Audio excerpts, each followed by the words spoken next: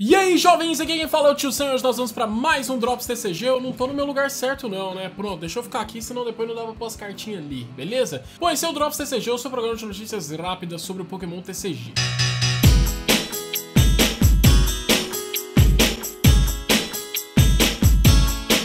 Bom, temos as novidades e os detalhes, na verdade, tudo já sobre o Mundial 2017. Parabéns aí pra Pokémon Company, nem todos eles são tão bons, mas pelo menos anunciaram isso bem cedo. Se eu fosse um espectador, se eu fosse pai de alguém, algum negócio, eu ia achar muito massa ter isso tudo. Temos a identidade visual, o playmatch aparentemente vai ser muito lindo, os negócios, é meio tipo, é a Lola, é como se fosse um Hawaii 2, entendeu? Tipo, como se fosse um playmatch da época do Havaí, só que foi atualizado agora que a gente tá nesse clima aí praiano, né? Com os Pokémon de Soilu e tudo mais. Então a arte é bem bonita, ali no fundo a gente tem um easter egg no meio dos coqueiros que é um um é, Zegotor, né, a Lola Forma, a gente tem um Mimikyu muito escondido ali, mas bom, no geral, a arte é bem legal, tem alguns pokémons aí, todos eles basicamente a Lola, tem o Passimian com a sua melancia, cara, eu tô ansioso pra ver essa pelúcia do Pikachu, a pelúcia do Pikachu segurando essa, essa bola meio, tipo, feita de fruta, feita de coisas naturais. Gosto também da logo, Anaheim, achei que ficou bonito também os negócios do Mundial e tudo mais. O Mundial é aquele evento, né, o maior evento de Pokémon CG do mundo, onde tem as maiores premiações. Esse evento só vai poder ir quem for convidado. Sabe quem não vai pro Mundial esse ano? Levanta a mão comigo!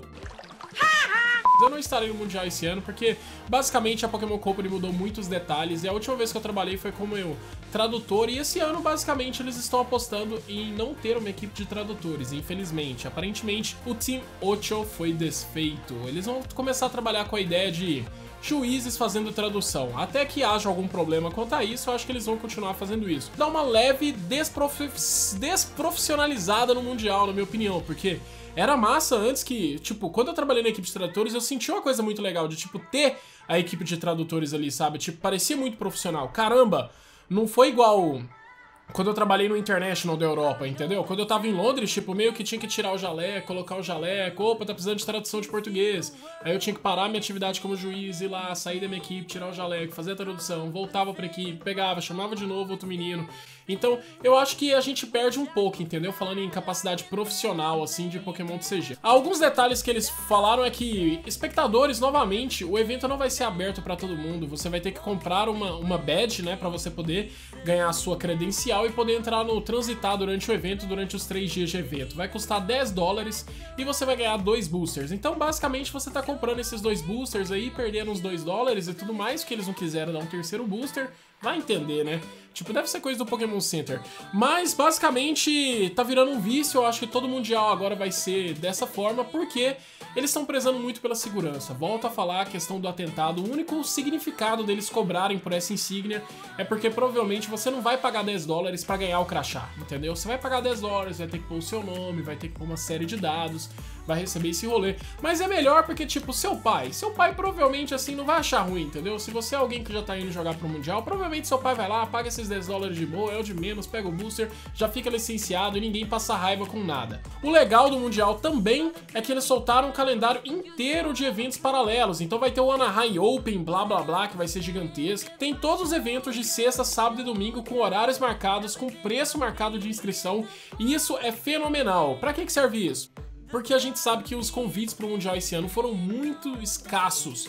Então vai ter muita pouca gente jogando o evento principal. Então para lotar o evento, eles querem que mesmo que você não tenha vaga, se tiver ali próximo e tudo mais, vá jogar o seu Pokémon TCG e participe ali também. Claro que sempre tem um Pokémon Center, para você visitar o Pokémon Center não precisa de credencial, tá? Vai estar em uma entrada separada e você pode ir diretamente no Pokémon Center sim. Bom, beleza, vamos continuar agora com os nossos spoilers de Sol e Lua 3+. É aquela Sol e Lua que não vai vir na 3, tá? Essas cartas estão todas de fora do Mundial, isso aí é para pós-Mundial.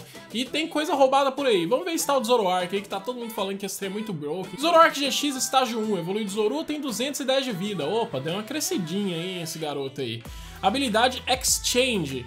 Uma vez durante seu turno de você atacar, você pode descartar uma carta da mão e comprar duas. Hum... Não, isso aí é roubado mesmo. Não, isso aí, esse negócio de você descartar uma carta da mão e comprar duas é muito forte. Tipo, pode ser acumulativo, né? Você pode ter dois Zoroark GX, é cavar no deck, até pegar o recurso que você quer. E pode ser um Pokémon simplesmente um Pokémon habilidade, né, velho? Tipo, pode ser só de compra e tudo mais, Zoroark GX. É bom, só disso aí já é bom. Duas energias incolores, Riot Beats, causa 20 dano vezes o número de Pokémon que você tem em jogo, tá?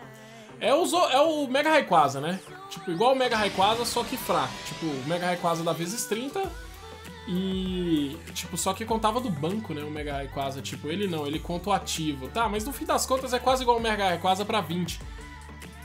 Pode ser um bom dano, mas não vai ter mais campo celeste, né, cara? Tipo, vai rotacionar, então, tipo, isso aí já vem depois do Mundial. Então, essa carta não vai jogar em nenhum momento junto com o Skyfield. Então, tipo, já não é tão legal esse ataque, na minha opinião.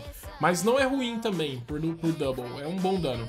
Duas energias noturnas aí já bagunça o Pokémon, porque até ali, ó, ele tá sendo uma carta que pode ser usada em qualquer deck, né? Agora já bagunça, agora é só no deck noturno. Duas energias noturnas, Trickster GX. Escolhe um ataque do Pokémon, dos Pokémons do oponente e usa aquele ataque. Fim. Você pode copiar até o GX do cara, tipo, se for muito broken, você vai lá e copia. Tá aí fazendo esse lance da cópia, né, do Zoroark. O Zoroark sempre teve essa pegada de cópia aí, tipo, sabe, esses lances de full play e tudo mais.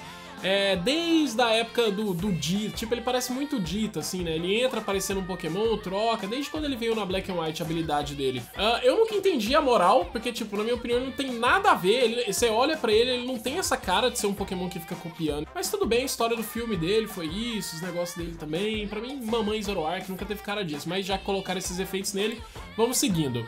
Vamos lá, outro GX aí, esse já me falaram que é muito broken, vamos ver se é broken mesmo. Raichu GX, do tipo elétrico, 210 de vida, estágio 1 evoluído Pikachu.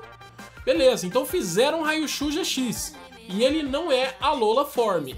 Eu acho que se fizessem a Lola Form, teriam feito ele psíquico, não elétrico também, né?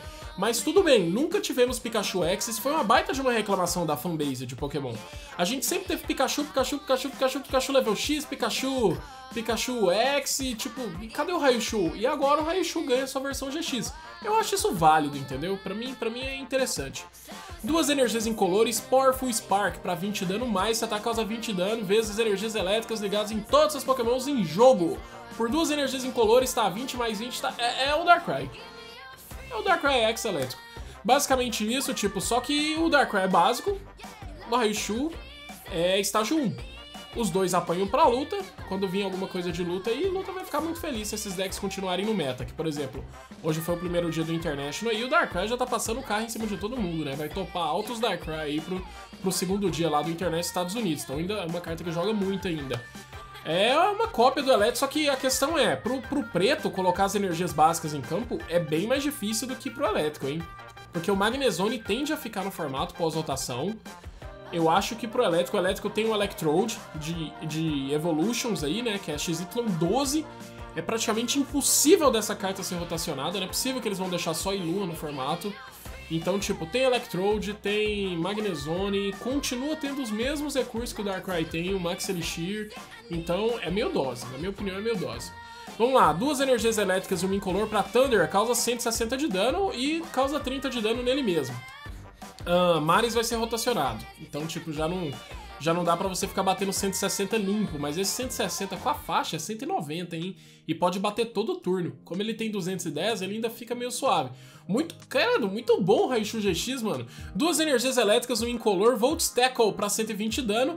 E o Pokémon ativo do seu oponente tá paralisado. Nossa! Putz, a Lapras agora ficou chateada, hein? Pô, a Lapras é básica, ela causa 100 e o Raichu causa 120. Mas é a mesma coisa que o GX da Lapras. Você precisa ganhar um turno, você vai lá dar o GX, paralisa o seu oponente e ganha um turno. Basicamente assim. Mas, pô, ele é o Lapras GX com tipo um ataque muito forte que não tem que descartar nada e ainda dá o ataque bom do Darkrai. Mano, é um mito esse Raichu. Sério. Tipo, valeu a pena ter esperado, hein, Sr. Raichu, pra vir numa ultra rara. Senhor, alguém na Pokémon aí tá muito fã do senhor. Fraqueza lutador, resistência metal e custo 1 de recuo. Ele não recua gratuito, ele não é meio rapidinho. Geralmente os Pikachus Raichu são meio rápidos. Dessa vez não veio. Mas um de custo de recuo foi bom. Poderia ser dois, né? Tipo, dois pra dar uma equilibrada, pra deixar a carta um pouco piorzinha. Porque eu achei a carta muito roubada. Na minha opinião, o Raichu GX tá muito broken.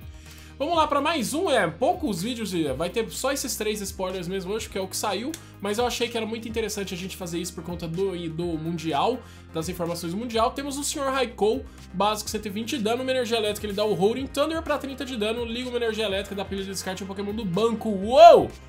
Traduziram o Yveltal X para amarelo. O Yveltal, Baby, Baby Veltal. Caramba, ele tá dando Oblivion Ring na cara duro, o Raikou, velho. Meu Deus, 30 de dano e põe uma energia elétrica. Caramba, o Raichu é um mito. O Raichu é God. Caramba, luta joga demais agora. Meu Deus, guardem seus passímias, like a rock. Meu, vai precisar de tudo isso no formato pra dar uma equilibrada. Depois duas energias elétricas, uma incolor para Lightning Ball, para 90 de dano, também fraqueza, mesma coisa. Fraqueza lutador, resistência metal, 2 de Kusheku, 2 de Kusheku, pelo menos, né? Putz, é o Ivelton. Tiraram as asas do Ivelton e colocaram ele amarelo. Raikou. E ele é holográfico aqui logo de cara, que já dá pra ver também. Ele vai ser um pouco mais tenso de conseguir aí. O Ivelta era uma rarinha básica. Talvez o preço dele seja um pouco melhor. Bom, gosto de todas essas informações. Eu acabei de mencionar que também, ah, nesse momento que eu tô gravando, tá, aconteceu o primeiro dia do Internacional dos Estados Unidos.